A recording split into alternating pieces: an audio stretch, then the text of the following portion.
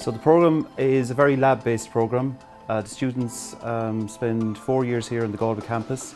In year one, it's a common program, and in year two, three, and four, it's very forensic specific. So it's very hands-on, practical based. There's four main areas that we're involved in in the forensic analysis.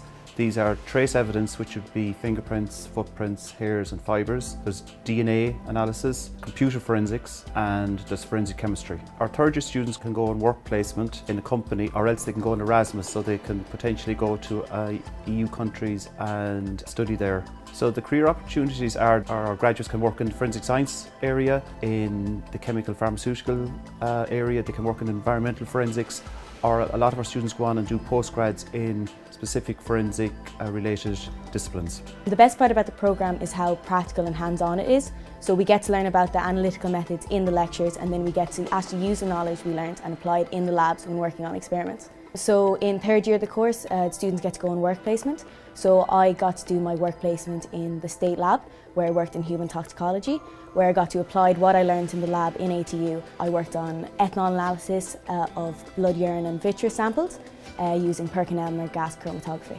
We also got to go to a mock crime scene where we were able to put the skills we learned in action and go in and collect evidence and then take them back to the lab for analysis.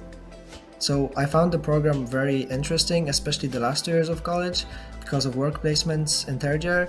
And in the last year, you also get to work on your thesis. So a lot of the work that we do in uh, Forensic Science Ireland is based on chromatography, mostly GCMS and TLC. Communication is also very important and I feel like the labs in ATU are designed so that you work in pairs or as a part of a team, which which helps you develop better communication skills.